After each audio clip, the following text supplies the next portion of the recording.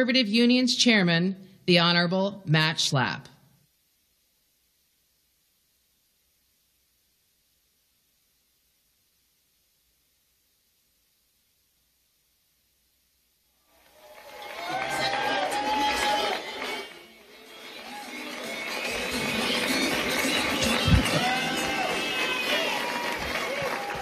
Thanks for being here. You bet. All right, guys, let's take a seat.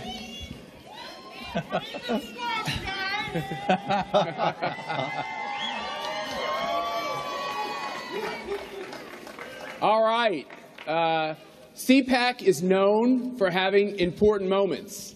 And I think it's safe to say by a full room and just a couple of cameras uh, that this is one of those moments. and I, I think the first thing that would be appropriate after 30 days of running a continual sprint is to thank these two guys for what they've been doing.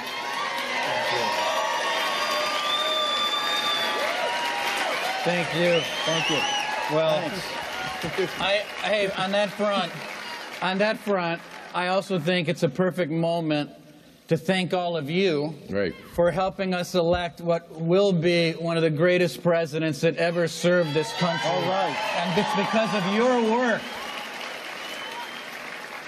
that he made it happen. And, and Matt, great. I, I want to thank you for finally uh, inviting me to CPAC. Yeah, there's no, uh, the, what was the name of the, the, the event? un- uninvited. The uninvited. I know there are many alumni out here in the audience. I, I didn't. I didn't like the uninvited. Here's what we, We decided we to noticed. do at CPAC with the uninvited. We decided to say that everybody's a part of our conservative family. That's right.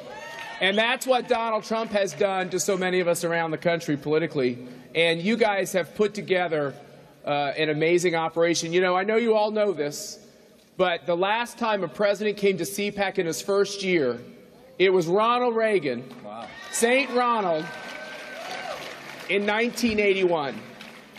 And you've put together this, uh, the, uh, the president has put together the most conservative cabinet we've ever seen, according to our CPAC ratings. And I think a few of us are pretty happy about what looks like is going to happen on the Supreme Court, too. So it's. Uh, Yeah. Now, let me ask you two. I'm looking in the back of the room as well, but let me ask you two. Uh, we all Is, read. is that the opposition party? back Yes, that is. Let me ask you two. Uh, we read a lot about you two, um, It's all good. but I bet not all of it's accurate. I bet not all of it's accurate. I bet uh, there's some things that don't get written correctly. Let me ask each one of you: What's the biggest misconception about what's going on in the Donald Trump White House? Uh, well, in regard to us two, I think the biggest mi- misconception is everything that you're reading. Um, we, we, ba- we, we share an office suite together. Uh, we're basically together from 6.30 in the morning until about 11 o'clock at night. I have a little thing called the war room. He has a fireplace with uh, you know, nice sofas. And um, it's, uh, it's actually something that you all have helped build, uh, which is when you bring together, and what this election showed, and what President Trump showed, and let's not kid ourselves.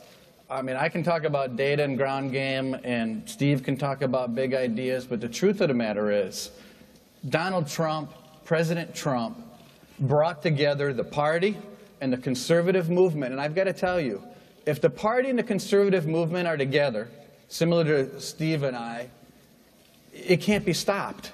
And President Trump was the one guy, he was the one person, and I can say it after overseeing 16 people kill each other. It, it was Donald Trump that was able to bring this, this party and this movement together. And Steve and I know that, and we live it every day. Our job is to get the agenda of President Trump through the door and on pen and paper. You know, but we've known it since August 15th. And I think if you look at, you know, the opposition party and how they portrayed the campaign, how they portrayed the transition, and now they're, they're portraying the administration, it's always wrong.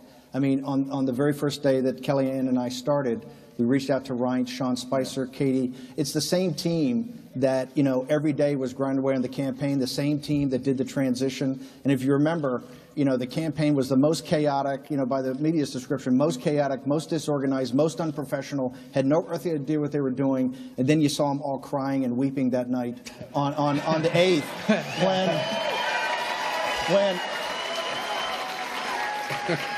and, and, the reason it worked, the reason it worked is, is, is President Trump. I mean, Trump had those ideas, had that energy, had that vision that could galvanize a team around him of disparate. Look, we're a coalition.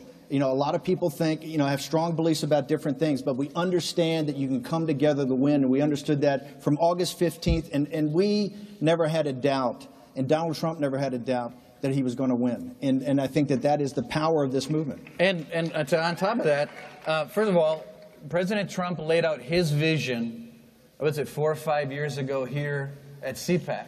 That's right. And it was that vision. It's nothing different. If you go back and watch the tape of President Trump four or five years ago, that was the Trump agenda. One of the things I used to say all the time, and Governor Walker and everyone gets sick of me saying it, but I think that President Trump found it, which was what this country, what all of us were starving for the whole time because we're so sick of politics and politicians. In spite of the fact that we love being here, we, we actually hate politics.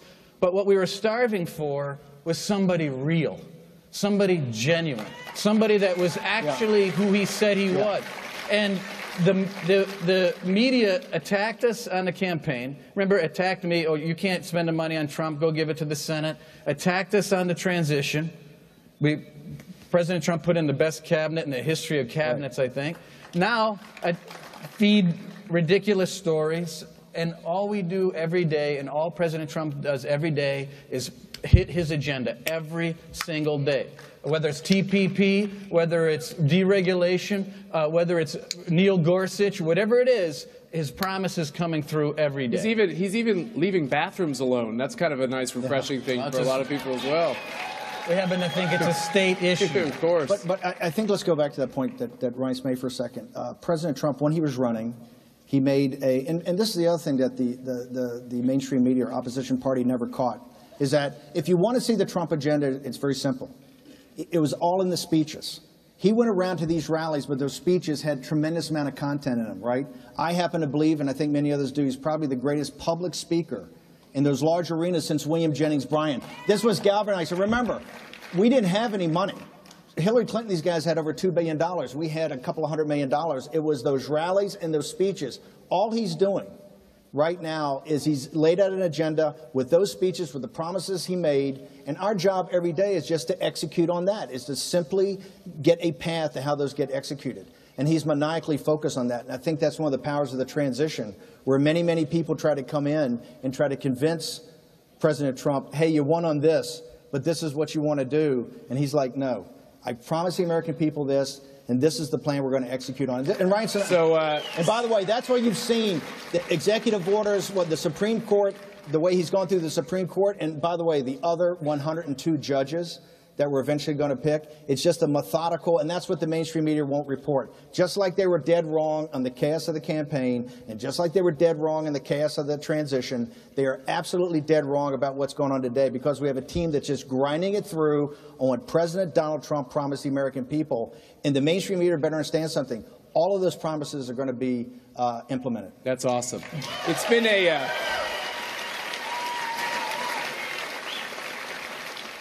you know, Steve, you're a really likable guy. You should do this more often. That's so bad. He's not so bad. Most of the time. Yeah, exactly. So, uh, what are 30 days of action? And you guys have touched on some of that action. Each one of you, tell me the one or two things that have happened in the last 30 days that you think are the most critical. And what is the one thing that you just, like you said, Steve, maniacally focused, that has just got to happen early in the administration to really turn this country around? So, start first with the first 30 days, then what's that focus after that? So there's a lot that has, that's A lot. happened in the, in the first 30 days. Um, whether you know, and you look at uh, our, the world, the, the our world order, and, and some of the things that are going on that I think are, will be dealt with soon. But um, the first thing I think is Neil Gorsuch, for a couple things. Number one, We're not talking about a change over a four year period. We're talking about a change of potentially 40 years of law, number one. But more important than that, more important to that, it established trust. It established that President Trump is a man of his word. We always knew that. But when he said, here's 20 names on a piece of paper back in July, remember? And he said, I'm going to pick my judge out of these 20 people that are on this piece of paper. And he did it. That's number one. Because Neil Gorsuch represents a conservative, represents the type of judge that has the vision of Donald Trump, and it fulfills the promise that he made to all of you and to all Americans across the country. Second thing, deregulation.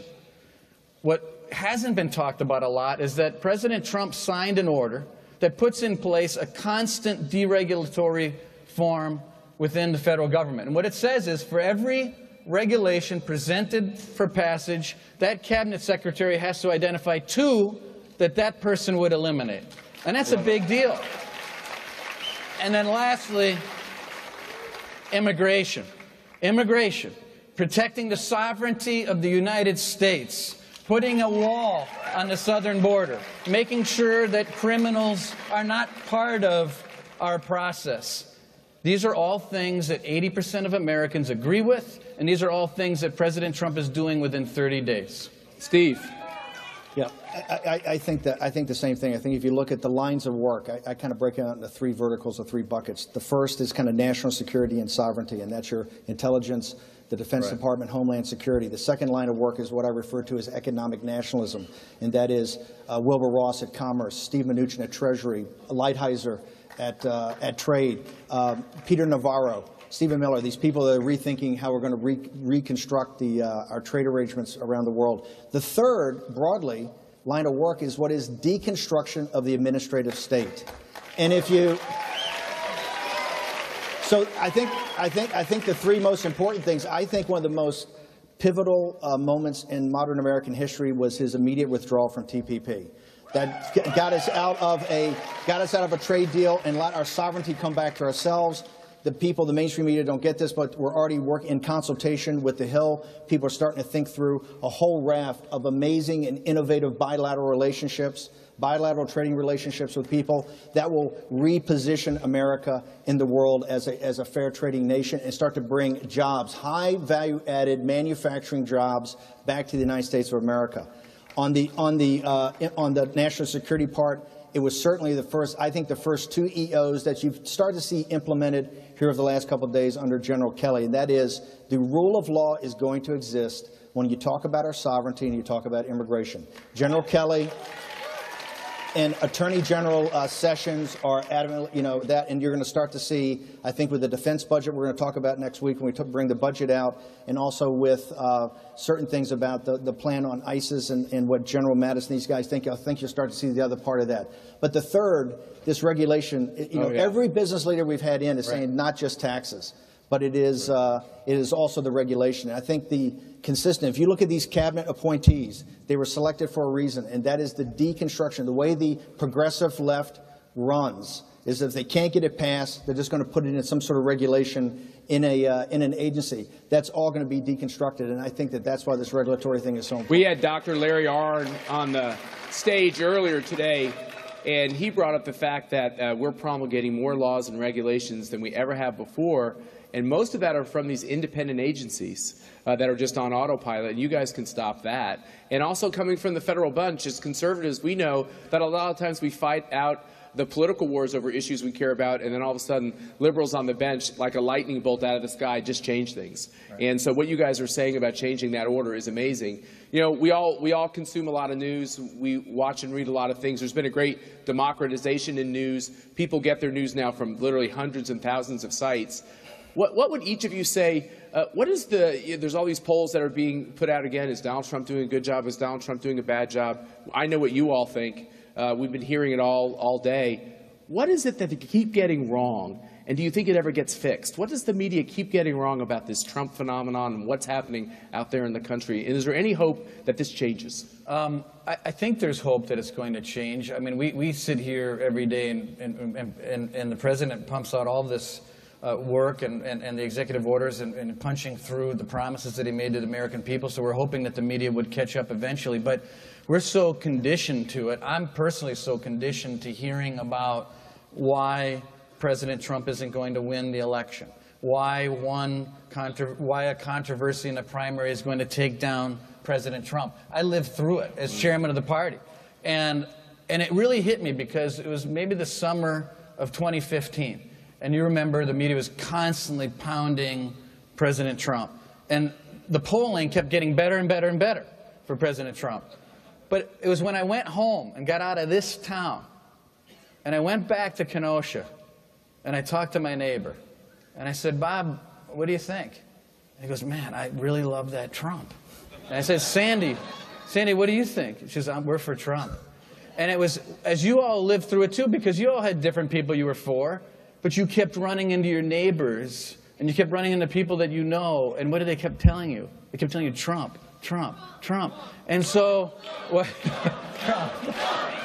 So, Tomorrow, tomorrow, okay? Just be patient. I knew.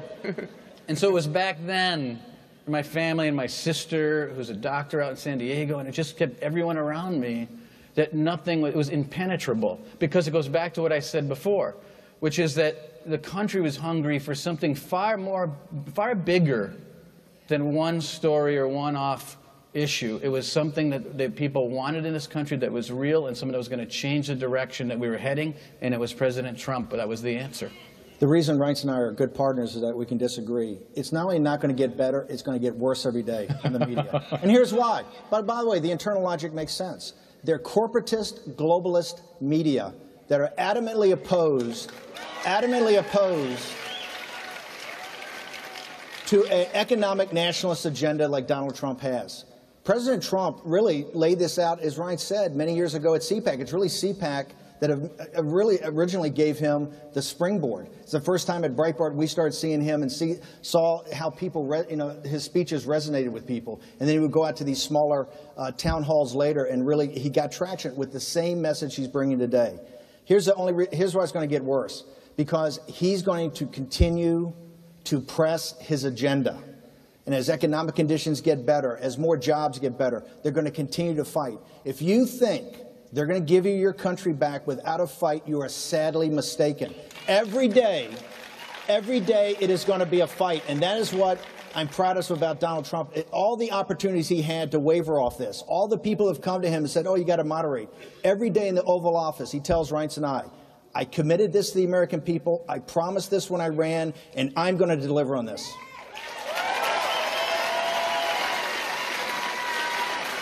How novel.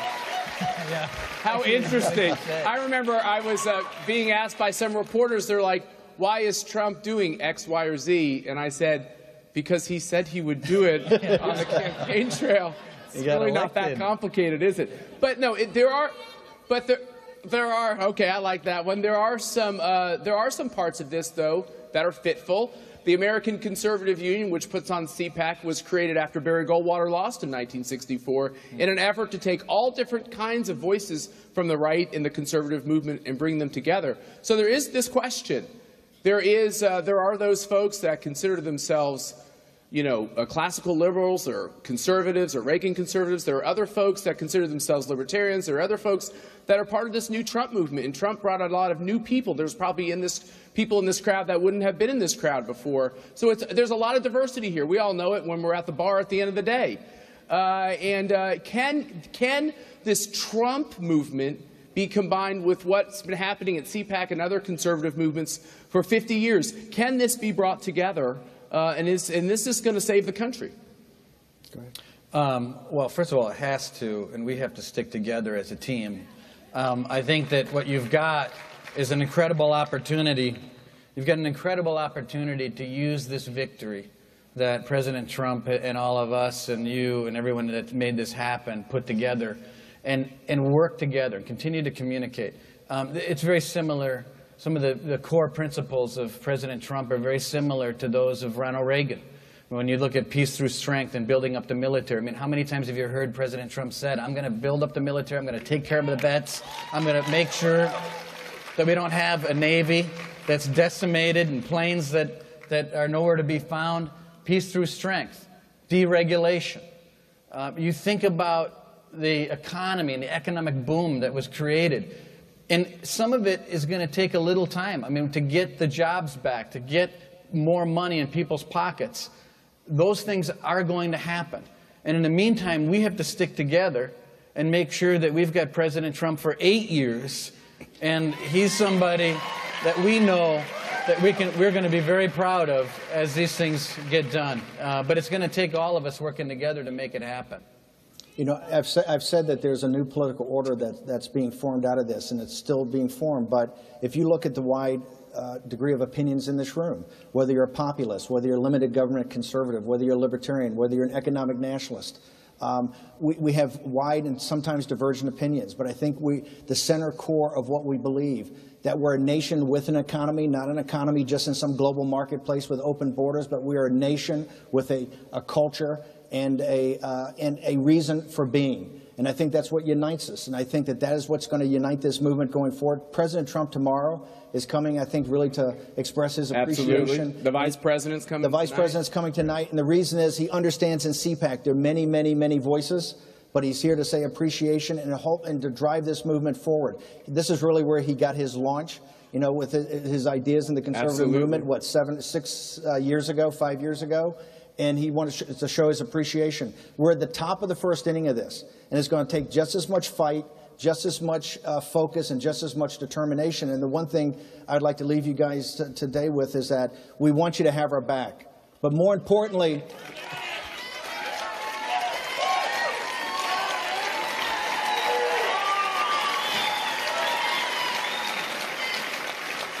we ne- by the way, President Trump, we never did that for a second, but also, and more importantly, hold us accountable. Hold us accountable to what we promised. Hold us accountable for delivering on what we promised. Let me just ask as we uh, as we close this out, it's time for you know you guys have been so kind of kumbaya here. It's kind of time for a little bit of a group hug. Uh, let me ask you. Okay, I'm sorry. I'm going to do the Bar- Barbara Walters thing for those of you who remember Barbara Walters. Uh, let me ask you. What do you? You've worked really closely with Steve. Uh, you say your offices. I know what two offices they are. They are really close to each other. Uh, what do you like the most about him? Hold on, let him think. I, I love I love how many collars he wears. Uh, interesting look. Um, uh, one thing we're different, but we're, we're very similar. Is that I think that he is very dogged in making sure that every day the promises that President Trump has made are the promises that we're working on every day, number one. Number two, um, he's incredibly loyal. And number three, um, which I think is a really important quality as we're working together to, to see to it that President Trump's vision is enacted, is that he's extremely consistent. That, as you can imagine, there are many things hitting the president's ear and desk every day. Different things that come to the president that want to move him off of his agenda. And Steve is very consistent and very loyal to the agenda and is a presence that I think is very important to have in the White House. And I consider him, and secondly, and a very dear friend, a very dear friend, and someone that we that I work with every second of the day, and, and actually we cherish I cherish his friendship. Yeah, you know, I can run a little hot on occasions. Um, and and Reince is indefatigable. I mean, it's low key, but it's determination. The thing I respect most, and the only way this thing works, is Reince is always kind of steady. He's got Katie and some other people around him. It's very steady, but his job is by far one of the toughest jobs I've ever seen in my life. To make it run every day, and to make the trains, and you only see the surface, what's going on underneath, and planning what's three weeks down the road to the, to the degree that we're planning it, of all these EOs and legislation, and you know whether it's a tax reform bill. Reince is indefatigable in saying we got to drive this forward, we got to drive this forward, and I think it's one of the reasons we have such a. And by the way, this started back in August when we had this campaign. We were outgunned, outmanned, uh, you know, outspent, and it was because President Trump had a message, he had this charisma, and he had people like here at CPAC and we just put our heads down, and that's what. And Reince has been unwavering since the very first moment I met him. Well, it's a great honor to have you both here. I think, I think the best thing we could do is to let these two guys get back to work. What do you think? Right. Thanks for being here. Thank you, Matt. Yeah. That's right. Thank you.